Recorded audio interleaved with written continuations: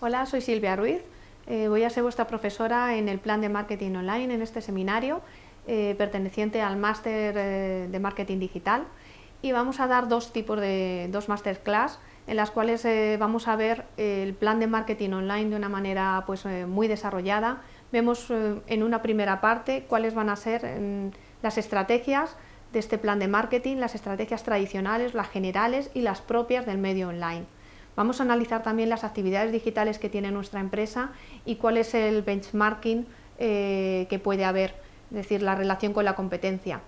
en una segunda parte de, la, masterclass, en una segunda masterclass, vamos a ver las integraciones de las acciones on y offline, cómo se integran y cómo eh, esa unión eh, ayuda mucho a, la eficiencia en, en el mercado. Cuáles son los objetivos del plan de marketing online, cuáles son los KPIs que debemos medir y después cómo vamos a hacer la medición y análisis de resultados. Espero que os resulte interesante.